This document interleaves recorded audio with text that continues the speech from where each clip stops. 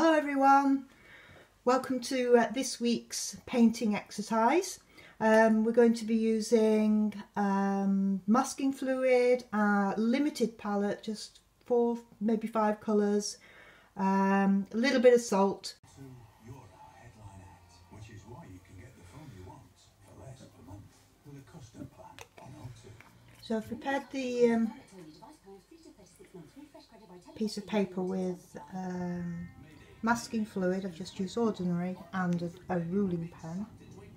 You could use a cocktail stick or a piece of twig, um, a dead biro even that doesn't write anymore, uh, and dip it in and put it on. Um, and I've put some finer lines on with a drawing pen. Um, these are by Pebeo. Um, great, really controllable. So I've put that on, I wait for that to dry and then we'll start painting. Okay. Right, so the um, masking fluid has dried. I'm to going to start to paint. The colours I'm going to use are um, a little bit of French ultramarine, some indigo, um, a little bit of um, cadmium red, which is quite a bright red, it's more orangey, and um, some a biggish brush here.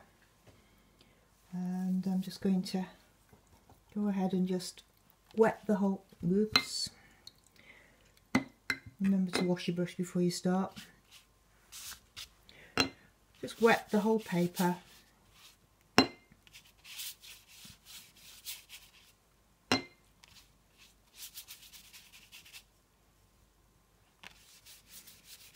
okay make sure that it's really nice and wet and covered all over. Just give that a second. Make sure it's uh, not got any dry patches anywhere. Okay, so I've given that a couple of minutes and I'm now going to get this, uh, start getting the paint on. So starting off with this lovely rich blue, just feed it in there we go. And I'm now going to add a bit of the indigo to that. Again, you know, mix it up with a reasonable amount of water. And I'm just going to pop a bit of that in. I'm going to put quite a bit over the top of where these seed heads are because when the um, masking fluid comes off, um, be a nice contrast I'm going to leave a little bit of whitish paper in this area to try to indicate that there's a sort of a, a wind blowing. It's blowing these seedlets off the flowers or off the seed heads. Okay, and just pull a few streaks out just to give you that idea of the the wind. just do a little bit more there. There we go. And now onto the bottom area, I'm just going to add a bit of water into that light red or, or sienna if you've got the sienna colour and drop some of that in. See how these two colours are gorgeous together. Really nice. And I'm continuing to make that sort of a diagonal pull across the paper so that um, it gives that impression of the wind blowing, catching those seed heads. And now I'm just going to tilt my paper a little bit and let those colours run. But I'm going to again tip it in the direction in which that wind will be blowing. So it gives that really nice and hopefully the, the colours will run a little bit and um, merge together and, and create some interesting shapes. I'm just going to take that little bit out of there because it's the, the colours got caught on the on the stem. So again I'm just going to put a little bit of that in give it a bit more life. One or two bits through the through the seed heads. There we go. And where it's mixed with the blue you get quite a nice um, deeper colour coming through so you, you gives a bit of variety. Okay, while it's still pretty damp, I'm now going to take a bit more of the indigo I'm going to splash a little bit of indigo. I'm just, just putting it on my brush and just flick it on.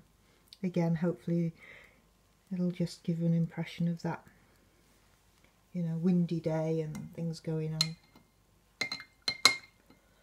Okay.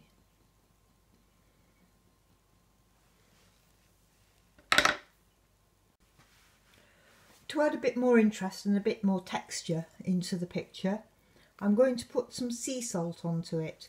So this is um, just, you know, run of the mill. It's in a, in a grinder. But I'm going to grind it into my hand first so that I can control where it goes. So I'll just do that and then...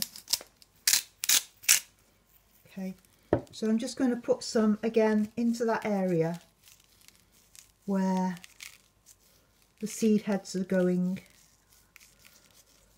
across the top there.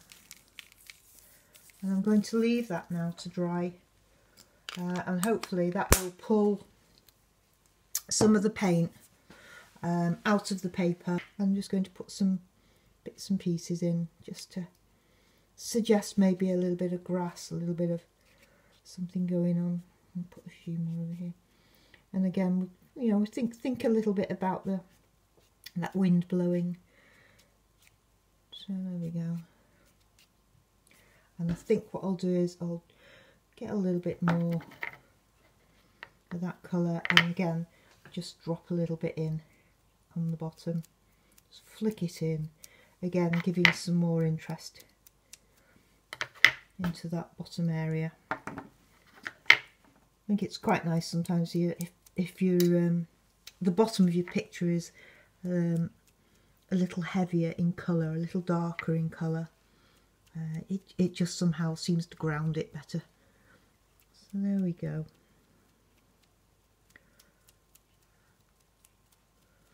And you can see those, um, because it's pretty wet, those dark brown bits that I've put in are starting to merge and disappear. So as it's drying a little, I'll just put a few more in. And um, hopefully they, they will stay where they're put. They'll go a bit softer obviously but okay. I'll give that a minute and then I'll probably finish off with just a few more bits of dark brown at the bottom. And what you can do even is add a little bit of the um, indigo blue and a little bit of that brown together to give you a really dark uh, uh, final few strokes onto there. That will um, just give it a little bit more punch. So just do that. So I'm just adding a bit of the blue into the brown. This is quite thick now, so hopefully it shouldn't run too much. Just get a few more of these darks in at the bottom.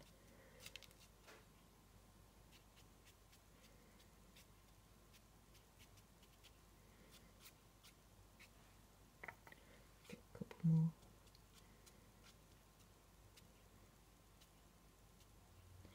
Right. I might come back and do a bit more of that in, a, in another minute or two. Okay, so I'm just going to leave that to dry a bit. The painting is now dry, so I'm going to um, take off or rub off the um, masking fluid uh, and shake off the salt. You may find that some of the salt will remain, um, but it won't uh, damage the picture in any way. So there we go, we just take all that off. Now if you don't want to use your finger, if you don't want to get any grease on, you could use, use an eraser to take that off. And there are other tools available if, uh, if you really don't want to get any grease on it. There we go. That's most of the, there's one or two little bits of, there we are. That's most of it off. And it's gorgeous. You go, go in now and look at what the salt has done. You know, it's, um, look at that little area there. Fabulous.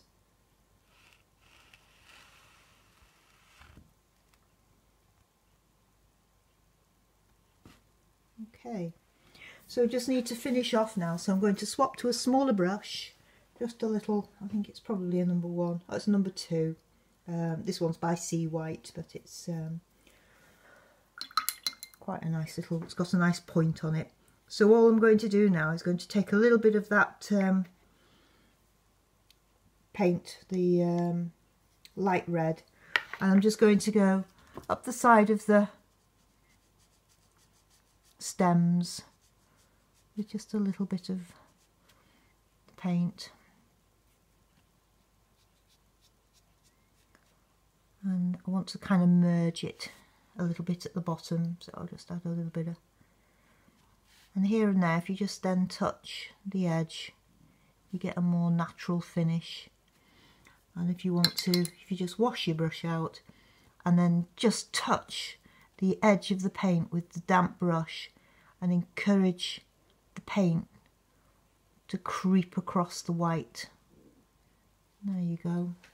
So you get a quite a nice um, finish to that. So we'll do it the same with the others.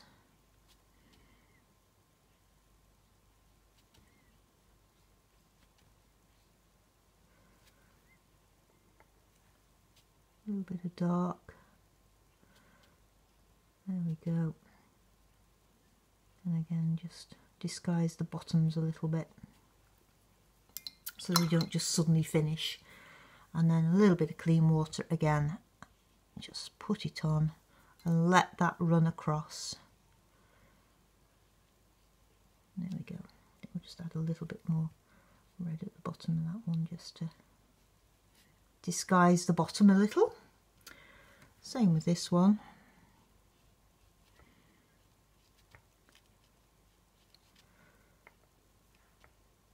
A little bit of dark.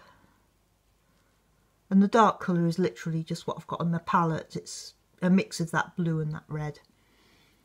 And then a little bit of clean water down the edge. Just to help it merge in a little. Right, I'm going to take a little bit of, you remember we had some um, ultramarine blue. I'm just going to make sure there's a bit of water on my brush so that it goes quite thin. And then I'm just going to add a little bit of that to one side of the um, the flower heads, the seed heads, to suggest a little bit of shadow on there went on a bit dark so all I do is add a little water to that and spread it around a little. There we go. And the same with this one.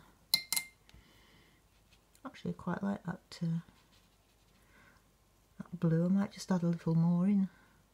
Just let it merge. That's quite nice. That's not merging so just encourage it. There we go. Um, could just add one or two little bits of detail here and there. Just a little bit just to add a bit of depth.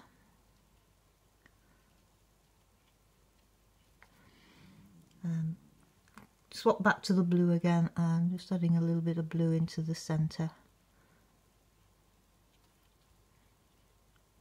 again just to give you that impression of, of um, the shadow part in, in the middle of those flowers. Okay, I'm going to swap back to my bigger brush and with the, the um, ultramarine blue I'm just going to add a little bit more splatter just to add a bit more interest. Not too much, just a little bit. There we go. And I think finally I'm just going to take again a little bit of the mix of the dark blue and the red. It makes quite a dark shade and just add one or two more little bits of um, grasses, stems in, in, in here, just again adding a little more depth. And you can see that I'm using a fine brush now, so it just adds a little bit of variety to those marks. I'll put little couple in the, in distance. I don't want to overdo this, but just uh, just a little bit, just to enhance it a little bit. There we go, and I think I'm done with that. So just let it dry um, and then I'll take it off the board. So there we have the finished painting. I hope you've enjoyed that and um, see you next Tuesday um, for something different. Enjoy painting this week. Bye.